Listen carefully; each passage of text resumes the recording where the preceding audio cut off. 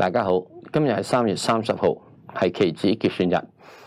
今日嘅系所有嘅板块咧，都有一个比较好嘅表现。